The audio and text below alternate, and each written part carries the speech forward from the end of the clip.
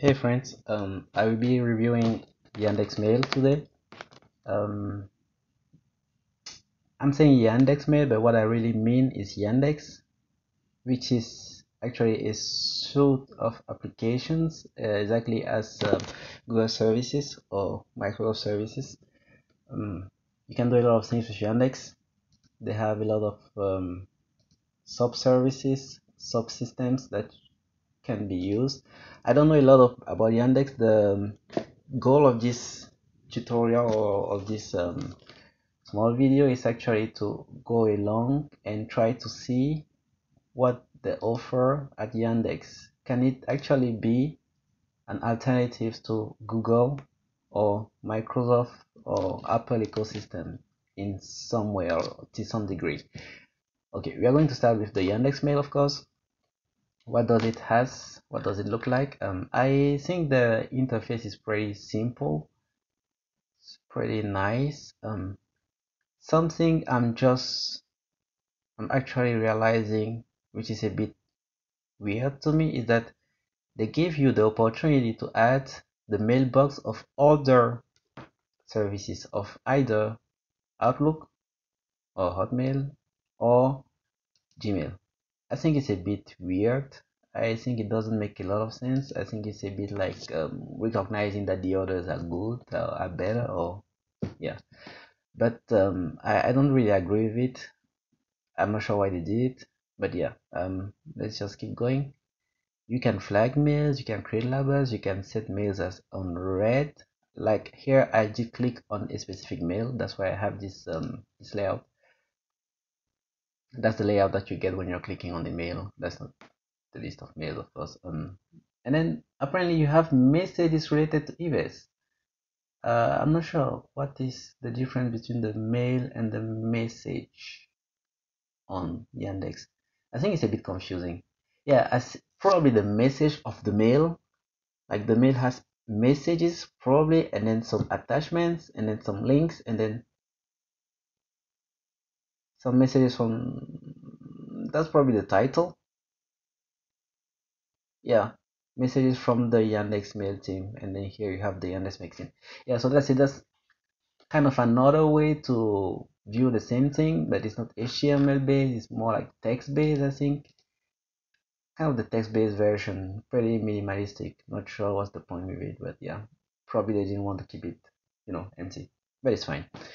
Um and uh, over here what does it look like? Uh, the layout of uh, one mail. Yeah you can flag the mail. You can set it as um what is it? Uh, unread. You can flag it. You can set it as spam. You can say it's spam. You can uh, forward it of course. You can reply. You can delete the mail. You can send it to a specific folder. You can pin the mail and then have it all the time on the top i guess. Um you can translate the mail. That's interesting. What does it do? Message language. It is in English. It did detect that the mail is in English. If I want to translate the mail in another language than Turkish, what do I do? I click on Turkish and I translate the mail in uh, French. Does it work? It does work. It did translate the whole mail. Reply with translator. What's that? Um, but it's it's interesting. I actually like this feature. I think it's yeah it's nice if you get some couple of i don't know random mails from countries which are speaking languages that you are not accustomed to then you can use that option. I think it's pretty straightforward. I think it's nice a good a good feature they have here. Uh, what did what do they have else? Uh, printing is pretty common. Create filter pretty common. Message properties, what is that about? Okay. I think this is just like giving me oh I'm getting it as an EML file which means that um, actually EML and MSG I think are the two extensions that are being used as um, mail extensions EML is I think it's being used by uh, um, not Microsoft based um, email clients. Uh, that will be Thunderbird or Evolution or the mail client on app on Apple and all those other mail clients that are on Microsoft Base anyway. And then Microsoft Base is using the MSG extension. It can of course also read email extensions, but uh, yeah, Microsoft always have to do things not the right way, not the normal way. It's Microsoft. But yeah, um, that's interesting. I think this feature is not bad. It's nice, especially if you have the possibility to share this this link that you're getting. I'm not sure if it's feasible, but something that you can also um, realize is that the whole thing is actually base 64 encoded which means that um, this is the real mail this stuff that nobody can read is the real mail in itself it's probably the real EML file and then you can just unpack it and get the real um, content out of it. It's nice. I like it. Um, what else do they have here? Um, you can see okay let's go to the inbox first. Well the inbox is pretty you know you can change the layout. You can decide to have the content beside nice. I like it. I actually like it. I think it's pretty pretty pretty cool. Uh, you can decide to have uh, the content down instead of beside. That's mm, i don't like it that much because then you get less mails um, displayed. Um, i don't like it that much but um, yeah. You can decide you can want you can say that you want to have uh, large fonts and then you have large fonts. That's nice also. I like it. Um but uh yeah that's it for the inbox. Send mails. Go to inbox. Mm, yeah i didn't send anything. Should we try to send something? Yeah let's do it. Um i will compose email to uh, Linux apps. I will send email to myself at yandex.com. Yeah, to the same guy. And then um, the subject is going to be um, hello mail, and the content is going to be did you get it? Oh yeah, I got it. Yeah, actually we can try to bend to take advantage of this and try to see how it works you know like writing out mails oh it's nice i mean that's that's something okay this probably means that i might be able to have more than one email addresses here on this interface yeah i think this is what that allows me to do right um, i can add more email addresses over here. I can have Gmail and Outlook also. Um, but I only have Yandex and probably also all the Yandex um, email addresses. Who knows? Um, that might be feasible. Maybe I can label the email before sending it. Mm, that's cool.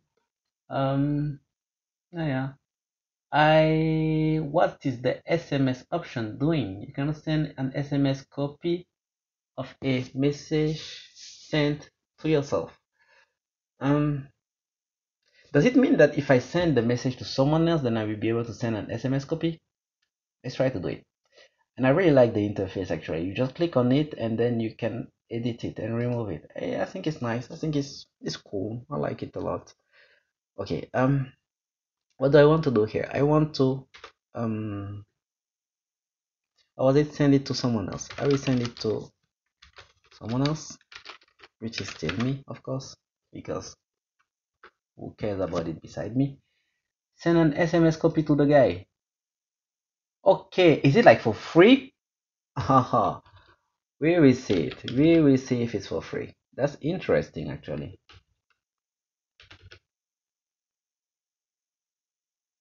okay I did insert the email address and the telephone number everything is done um yeah it looks fine and then did you get it that's okay and then we just send here. I would have expected the send button to be here but it's there instead.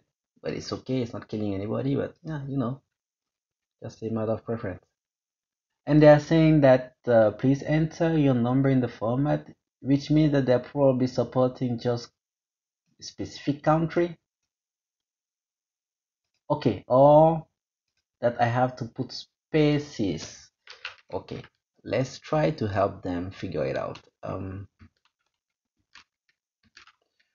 I think it's not that smart. I mean they should be able to figure it out right? Like it's well they didn't figure it out. Anyway let's give it up. It was too good to be true anyway. Um yeah let's send it like this. And uh, here you have a WYSIWYG editor. You know you can make stuff big or small or whatever and change the font and do fancy things. Yeah it works yeah that's fine. Um yeah let's send it. Okay that's probably the most annoying thing i've seen so far. They said sorry this message appears to be spam. To make sure that you're sending this message yourself rather than an automated program please enter the characters displayed in the picture. I basically don't see the picture or i think i can see. Environ mentally. I think that's the only first time that i'm using an email program and then they're asking me to you know confirm sending a message by typing in some kind of code like that's annoying guys. Okay i probably have to type both. I did type only one of them. Previously probably have to insert the two of them. That was annoying as process. Just sending a mail is that complicated. Come on, Yandex. It cannot be that difficult. No, I'm not okay with it. Really, really not okay with it. Um, it does need quite a bit of time to be um appear to appear actually on this section, the send mail section. That is annoying also, but uh, it's fine. And um, yeah, that's that's it about it. Um inbox and then the trash you have a trash of course when you delete messages i guess. Where your spams are going they're over here. Your draft messages if you draft something you don't send it yet it's coming here. You can create another folder with a template even. And over here you can see all the flags that you have and um, yeah, it's pretty it's okay. I mean yeah it's fine. What do we have up here as option? What can we do here? Um we can change the theme hmm. i'm not really fond of theme changing but uh, it's nice to have. What else can we do? Personal data signature picture message filtering import mail from other accounts um, man ma manage subscriptions folders label security appearance task context other. Well that's that's a lot. That's a lot to go on. I, I cannot do all of it in one video. So I will uh, try to split it up in many videos and uh, I will come back for other um, services of Yandex uh, what else do they have? Uh, maybe we can just you know before clo closing this before starting the video we can try to go around here and see how does those stuffs look. Here i guess it's just you know changing the password. Yeah might be straightforward as i said. Um, and then you again have to uh, confirm something to write to type in and a small image uh, something like a code that's appearing from on, on an image and something like this yeah. Just very very high amount of security. I think it's a bit annoying especially when you're sending an email anyway. Yeah what can you do here? Account management on uh, yandex.com password and authorization. Um change password add security question enable app password set up factors. I think those guys are really, really, really into security. Oh my god, it's crazy. Um, sign in and device history, nice, it's cool. Um, email inboxes and phone numbers, nice, it's cool. Ad accounts, mm, is nice. Well, I think um, I think that was it about Yandex email.